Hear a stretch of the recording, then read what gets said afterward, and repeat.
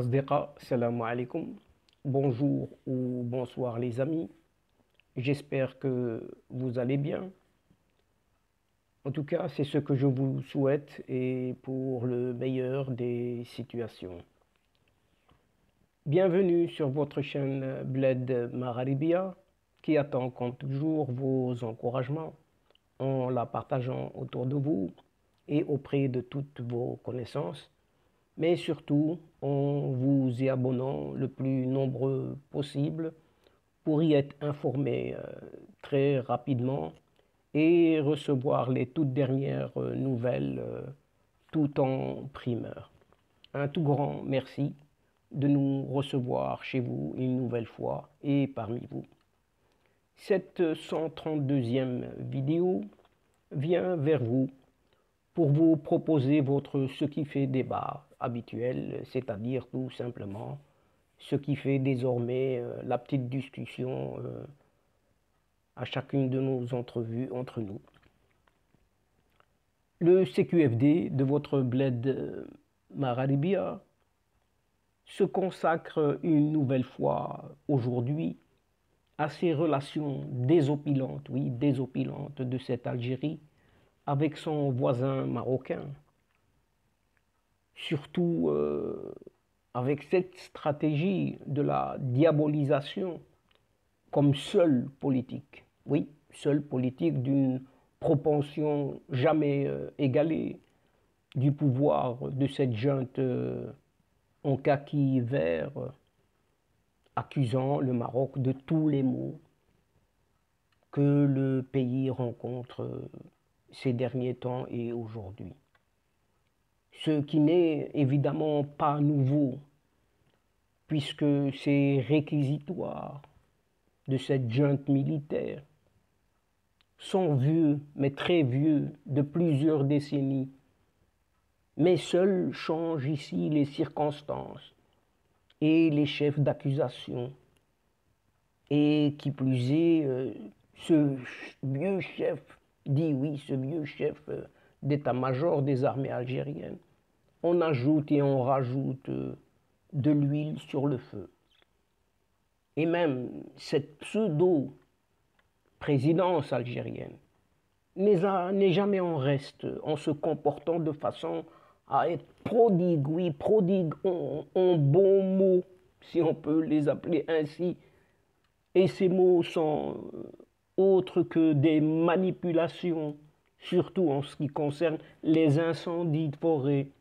Mais en tout cas, si elle n'est pas criminelle, cette présidence, elle est au moins irresponsable, puisque de nouveaux rapports scientifiques prévoient une nette augmentation de la fréquence des incendies de forêt en Algérie, ainsi que sur les autres pays euh, méditerranéen.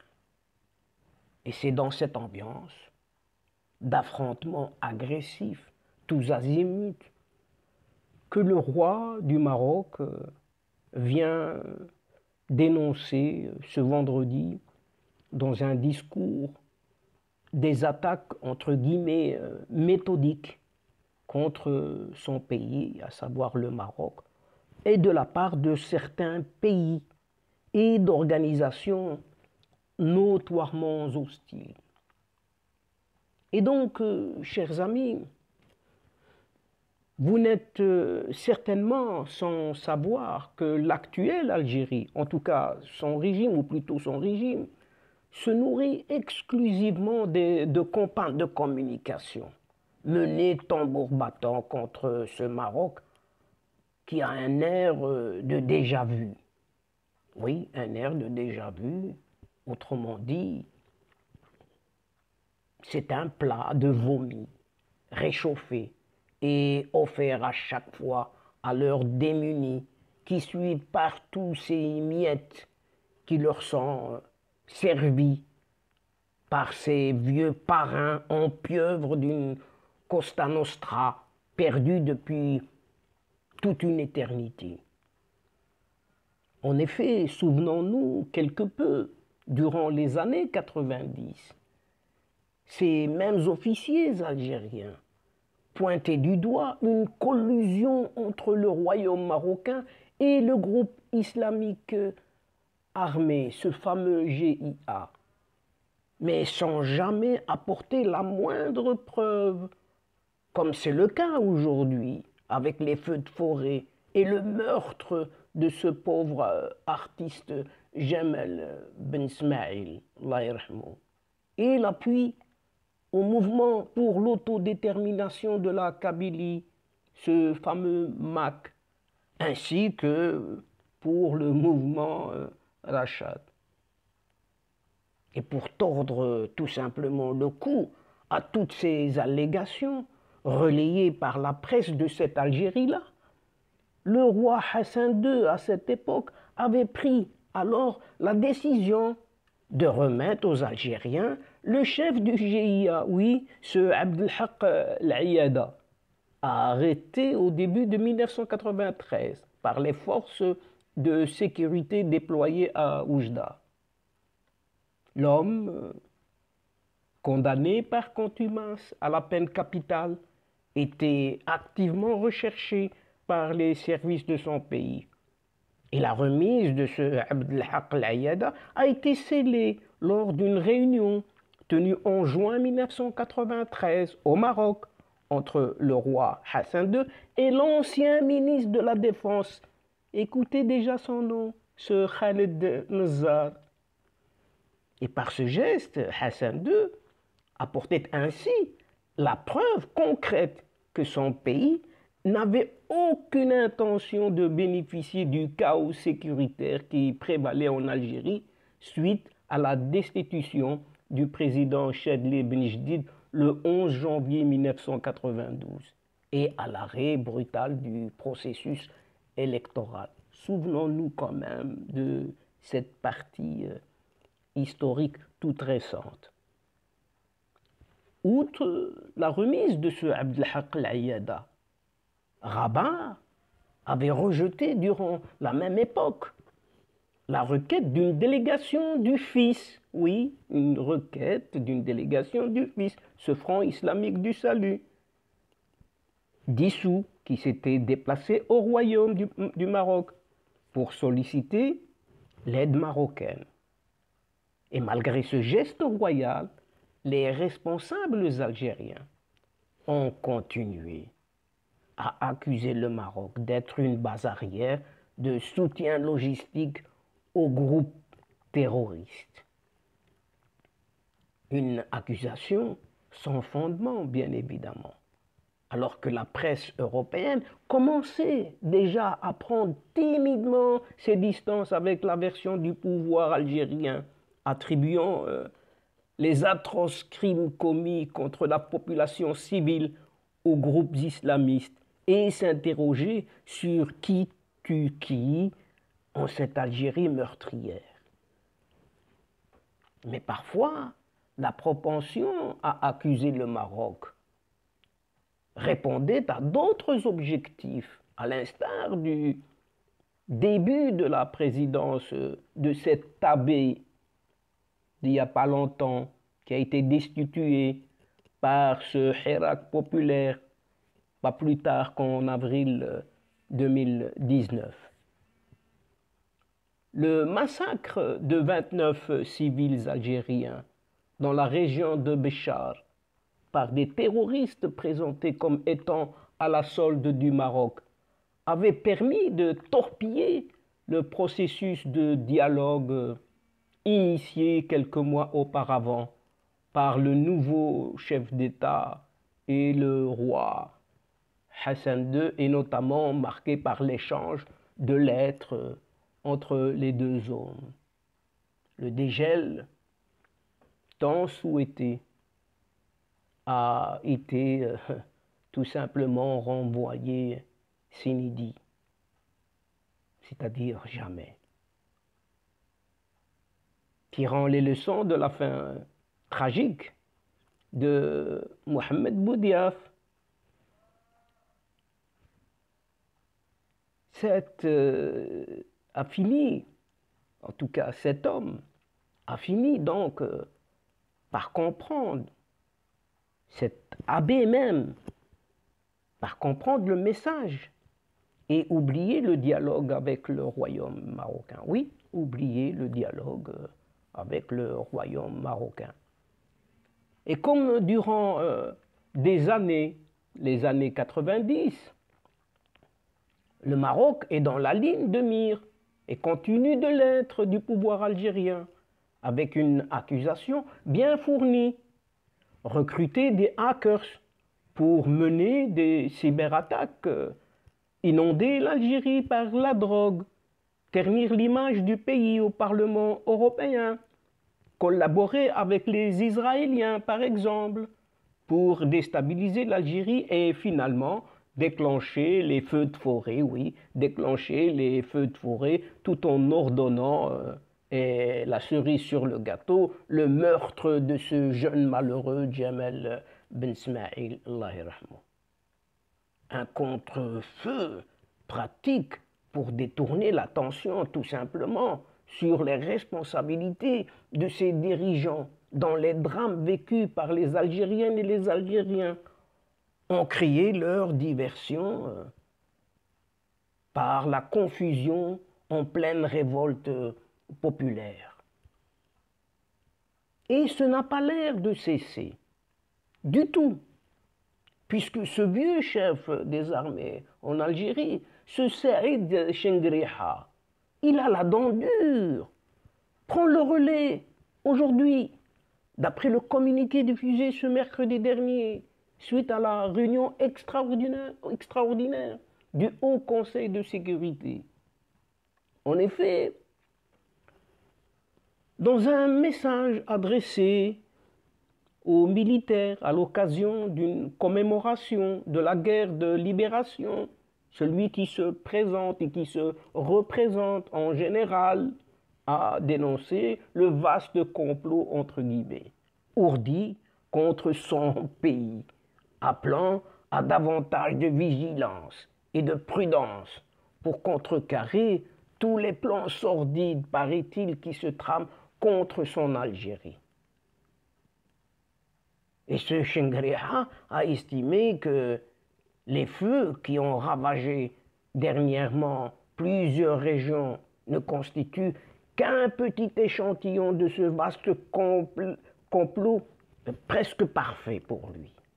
Donc ce mercredi passé, ce conseil, euh, ce haut conseil euh, de sécurité en Algérie a enjoint aux forces de sécurité d'intensifier les efforts pour l'arrestation du reste des individus impliqués dans les crimes euh, des feux de forêt.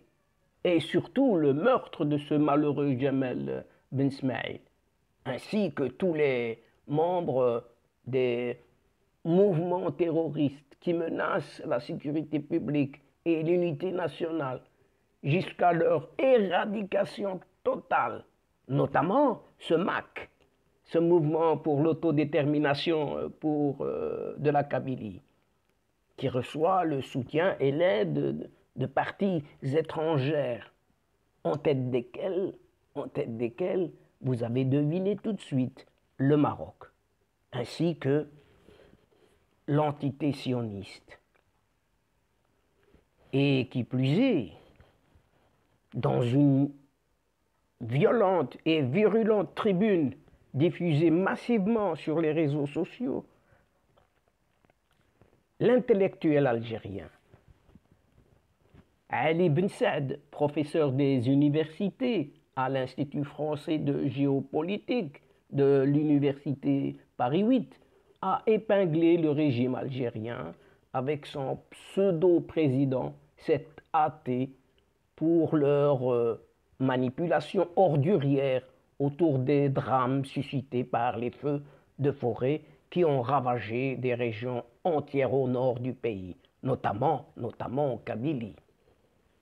Et en remuant euh, les braises de la haine, cet athée, oui, cet athée à la tête de l'État, à la tête de cette Algérie, s'il n'est pas criminel, alors il est au moins irresponsable, a indiqué dans sa tribune ce Ali Ben Saad, qui est également maître de conférence à l'Institut de géographie de l'Université d'Aix-Marseille. Et il dit, il nous dit, ni la population, ni le régime ne sont à l'origine de ces incendies. Mais ce régime est tout de même coupable de propos incendiaires qui allaient fatalement rencontrer le bois mort des esprits asséchés par la haine et les enflammés, indique à ce propos ce même Ali Ben Saad dans sa tribune qui n'a pas manqué de susciter, bien évidemment, un véritable tollé sur la webosphère, euh, euh, algérienne. Il rajoute, tout pouvoir peut réprimer massivement, et le régime algérien n'est pas en reste. Il l'a souvent fait en Kabylie et ailleurs en Algérie.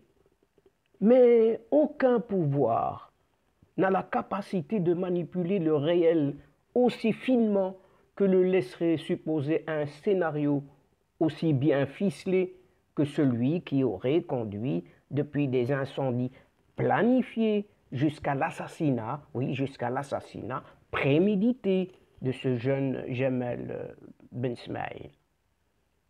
C'est encore euh, plus en dessus des capacités du pouvoir algérien, médiocre et qui n'a toujours euh, retrouvé ni centralité, ni stabilité, ce que décrète euh, Ali Ben Said. Et en se cherchant des coupables, le régime voulait d'abord faire oublier son incompétence, tout en mettant en lumière cette incompétence les jeunes des Aurès, qui, à défaut d'équipement, ont affronté, ont affronté les incendies à main nue, oui, ils ont affronté ces incendies de forêt à main nue. Et la diaspora, la diaspora qui a pallié à la faillite sanitaire du pays, l'élan de solidarité nationale qui se levait autour de la Kabylie en flammes, ont constitué également des défis au régime qui ne les a pas vus euh, d'un bon œil. Oui, oui. C'est ainsi que, fait unique l'ambassade d'Algérie en France a multiplié, oui, a multiplié les obstacles pour casser l'élan de solidarité au lieu de l'encourager. Analyse le même, euh, euh, dans le même sillage Ali euh, Ben qui a dénoncé vigoureusement l'incompétence, oui, vigoureusement cette incompétence avérée des autorités algériennes à gérer une catastrophe naturelle de l'ampleur des feux de forêt en Kabylie. Tout simplement. Les incendies de forêt en Kabylie ont révélé encore plus euh, cette incompétence. Et il y a 50 fois plus de morts en Algérie qu'en Grèce et 15 fois plus de morts qu'en Turquie, alors que les incendies dans ces deux pays ont été autrement plus importants, près d'une centaine de morts contre sept en Turquie et deux en Grèce. C'est qu'une partie importante des morts étaient des militaires et des civils venus combattre le feu, victimes du dérisoire et de l'archaïsme des moyens dont il disposait et qui était une autre illustration de la faillite de ce riche pays pétrolier qu'est cette Algérie. Déplore à ce propos Ali Ben Said, qui n'a pas hésité à décrypter les véritables dessous des théories complotistes qui ont été utilisées par le pouvoir algérien et surtout, et surtout, cet athée pour masquer leur faiblesse et leur incapacité à protéger la vie des populations touchées de plein fouet par les dramatiques feux de forêt. Et les propos de cet athée sont venus pour cacher cette lacune, mais aussi pour stigmatiser une région qui reste une citadelle du Hirak. Oui, cette Kabylie est une citadelle du Hirak et qui bénéficie dorénavant, pour cela notamment, de la sympathie du reste de tout le pays. Il n'a pas cru euh, devoir formuler les mêmes accusations au plus fort des incendies des Aurès, et par conséquent, ses propos avaient pour but de jeter de l'huile sur le feu. Oui, de jeter de l'huile sur le feu, dans tous les sens du terme, accuse ainsi euh, Ali Ben Saad. Cet auteur de plusieurs ouvrages consacrés à plusieurs aspects des évolutions de l'Algérie et des pays du Maghreb, à l'image de son livre paru en 2009 et intitulé euh, Le Maghreb à l'épreuve des migrations subsahariennes, n'a pas hésité aussi à expliquer le meurtre barbare et abject de ce jeune artiste Jamel euh, Ben Ismail, le 11 août dernier à l'Arba' Nathirathan par le délire complotiste et la propagande de manipulation des masses orchestrée massivement par le régime algérien et ses divers appareils sécuritaires ou médiatiques. Ce qui est arrivé à ce martyr, Jamel Ben Ismail, aurait pu arriver à toute autre personne dont la présence aurait pu susciter le moindre doute ou sur laquelle on aurait insinué des doutes. Il aurait pu malheureusement se passer dans n'importe quelle région d'Algérie. Et pour que cela arrive, il faut une trilogie d'ingrédients. La parole manipulatoire d'un leader. Dans ce cas, la prime revient à cet athée, encore une fois, et qui est sans foi ni loi. Une euh, situation d'exaspération. Ici, c'est les incendies.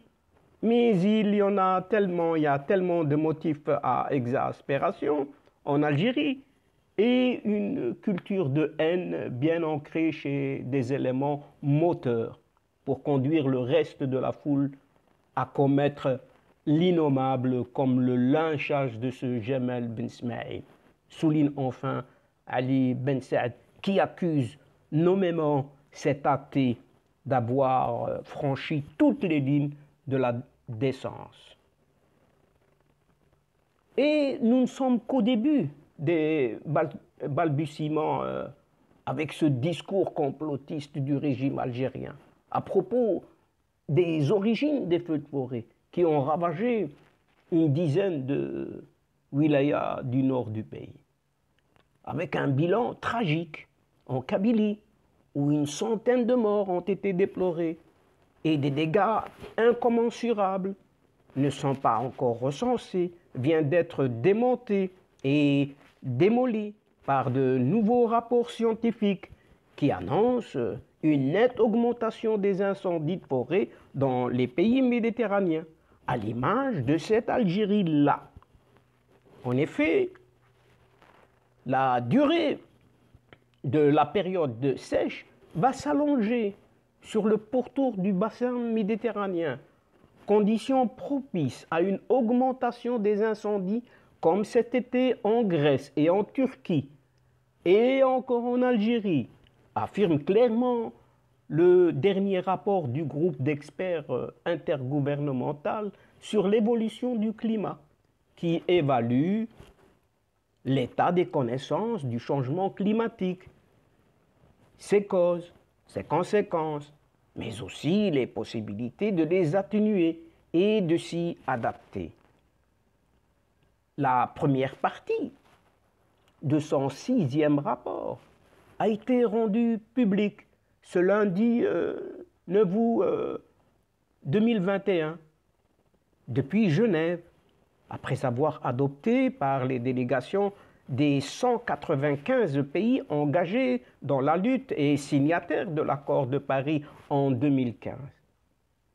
Et selon la nouvelle euh, somme euh, dirigée par plus de 230 scientifiques qui ont dû faire euh, avec 78 000 commentaires de leurs pairs les émissions de gaz à effet de serre d'origine humaines n'ont toujours pas baisser et l'objectif de maintenir euh, la surface de la Terre à 1,5 degrés centigrades de réchauffement d'ici la fin du siècle est hors de portée, sans réaction rapide. Et dans ce contexte, les fléaux comme les feux de forêt vont considérablement, se renforcer dans les, années à venir, notamment dans les pays méditerranéens, comme l'Algérie, par exemple, qui sont fortement exposés aux effets du dérèglement climatique. Si on commence par regarder les paramètres météorologiques les plus impactants pour les feux de forêt sur les 60 dernières années, on constate des étés nettement plus chauds, avec un réchauffement de la moyenne des températures maximales estivales à l'échelle de la métropole, par exemple, en France, dont une augmentation de 4 dixièmes de degrés euh, centigrades par décennie, a expliqué à ce propos Mathieu Régimbaud, ingénieur euh, météo France en agrométéorologie, à propos du lien existant entre changement climatique et feux de forêt. Et ce spécialiste indique aussi qu'une diminution des précipitations estivales sur la côte méditerranéenne accroît la menace des feux sur cette zone. Logique. Sur la base des paramètres purement météorologiques, donc, ces scientifiques ont modélisé l'évolution de la menace d'un feu de forêt durant les 60 dernières années. Ils ont constaté une augmentation de la sensibilité feu météorologique en intensité et en nombre de jours, un concept qui renvoie au risque d'avoir un feu en raison de la météo. Il faut également noter un allongement de cette période de sensibilité au-delà de la période estivale et une remontée de la sensibilité feu météorologique sur des territoires qui n'étaient historiquement pas euh, concernés. Explique encore à ce sujet euh, ce spécialiste français Mathieu Régimbaud. Justement, en France, rien qu'en France, un pays méditerranéen, dans les régions au sud du pays, sont exposés régulièrement au risque élevé des incendies de forêt. Les autorités publiques s'appuient sur euh, un indice, cet indice de forêt météo, IFM, et qui estime le danger météorologique de feux de forêt depuis des années 80. Et cet indice a rapporté cet été 2021 une augmentation du risque d'incendie de 18% entre la période 1961 à 1980 et la période de 1989 à 2008. Et d'ici 2040, le risque devrait progresser, écoutez bien, de 30% par rapport à la période de 1961 à 2000. Et l'Algérie est concernée pleinement par ce risque élevé de déclenchement des feux de forêt en raison de ce changement climatique qui est de plus en plus violent. Donc, il fallait anticiper pour pouvoir y remédier à tous ces feux de forêt. Donc, euh, il n'y a aucune relation entre ces catastrophes naturelles et les motifs politiques qui sont invoqués par ce régime algérien dans ses théories complotistes visant à manipuler une opinion publique naïve et peu consciente des enjeux climatiques du monde moderne. Pour euh, manipuler sa population désemparée, le régime algérien entretient diaboliquement la confusion entre l'origine criminelle, humaine et terroriste des incendies des forêts. 90% des feux de forêt sont dus à une raison humaine. Par exemple, un mégot de cigarette jetés dans les forêts euh, ou un barbecue mal maîtrisé, mal éteint, mais avec l'augmentation de la température, la sécheresse et les vents violents, tout cela fait que le moindre mégot de cigarette devient un brasier plus important que d'habitude, alors que les arbres sont en stress. Oui, les arbres sont en stress hydrique, a expliqué à ce propos Églantine Gou-Cotin, présidente de l'ingénieur conseil en environnement et foresterie, un organisme spécialisé dans l'expertise et la formation sur la réglementation et la certification forestière à l'échelle internationale. C'est dire, c'est dire enfin que la politisation des feux de forêt par le régime algérien est une pure absurdité qui reflète sa profonde malhonnêteté et son inquiétante médiocrité. Aucun mouvement politique, comme l'Achad par exemple, ou le MAC, ce mouvement pour l'autodétermination de la Kabylie, ces deux organisations diabolisées et accusées régulièrement par les autorités algériennes, n'est à l'origine ou derrière ces catastrophes naturelles. Donc ces deux mouvements n'y sont pour rien dans euh, ces incendies euh, de forêt en Algérie. Ces sinistres sont expliqués et prévus par les scientifiques. Et ils vont malheureusement devenir fréquents, de plus en plus, dangereux, et qui plus est, à l'avenir, pour des considérations purement, mais purement climatiques. Et en une phrase, oui, en une phrase prononcée par le roi Mohammed VI, qui n'est pas passé inaperçu et qui en dit long. Le Maroc, au même titre que certains pays du Maghreb arabe, fait face à une agression délibérée et préméditée. Oui, le Maroc, au même titre que certains pays du Maghreb, fait face à une agression délibérée et préméditée. Agrippés à des considérations obsolètes, les ennemis de l'intégrité territoriale du royaume marocain ne souhaitent pas que le Maroc demeure euh, la nation libre, forte et influente qu'il a toujours été, a-t-il dit dans son discours. De plus, quelques pays, notamment des pays européens, comptant paradoxalement parmi les partenaires traditionnels pour leurs intérêts. Donc, euh, des partenaires traditionnels du Maroc craignent pour leurs intérêts économiques, leur marché et leur sphère d'influence dans la région maghrébine, a-t-il ajouté sans autre précision. Mohamed VI a ensuite souhaité fonder des relations solides, constructives et équilibrées, notamment avec les pays voisins, en citant, cette fois-ci, l'Espagne, mais aussi la France, dans son discours prononcé pour le 68e anniversaire de la révolution du roi et du peuple. Par ailleurs, le souverain a dénoncé une vaste campagne de dénigrement à l'encontre des institutions sécuritaires marocaines.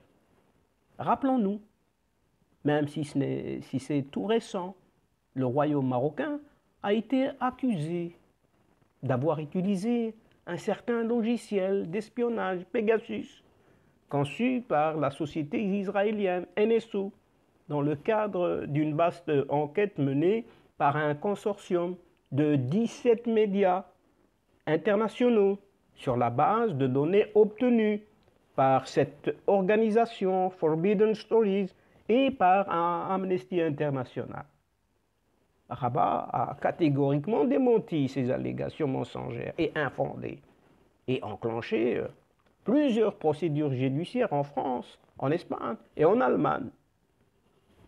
Des journalistes de différents pays ont eux aussi déposé des plaintes après l'enquête publiée en juillet par ce consortium démontrant que le logiciel Pegasus aurait permis à plusieurs pays, dont le Maroc, d'espionner des journalistes, des hommes et des femmes politiques, des militants des droits humains ou encore des chefs d'entreprise. Et voilà donc, euh, chers amis, c'est ici que prend fin la présente euh, séquence d'aujourd'hui. En prenant congé de vous, mais néanmoins, nous espérons vous retrouver euh, très très bientôt avec un immense plaisir au, travers de votre ce qui fait débat habituel, euh, c'est-à-dire ce qui fait discussion tout simplement entre nous à chacune de nos rencontres. Un tout grand merci pour votre confiance, pour votre fidélité, ainsi que pour votre patience. Mais surtout, surtout, un grand merci pour votre participation, de nous suivre et de nous écouter jusqu'au bout des séquences. Mais euh, néanmoins, ne nous oubliez pas, en nous aidant mutuellement, réciproquement, et d'aider votre chaîne Bled Mararibia en vous y abonnant, très très nombreux, afin d'abonner également vos proches, vos connaissances, là où vous êtes, afin d'être euh, tout simplement informés rapidement et surtout euh, en recevant euh, les dernières nouvelles. Mais n'oubliez pas aussi de partager au grand maximum autour de vous les séquences de votre vidéo. Et pour ma part, il ne me reste plus qu'à vous dire au revoir, chers amis. Al-Asdiqa, salam alaikum wa rahmatullahi ta'ala wa barakatuh. على بروشين فوا اي ا بيانتو إلى اللقاء في حصة أخرى. إن شاء الله مع السلامة.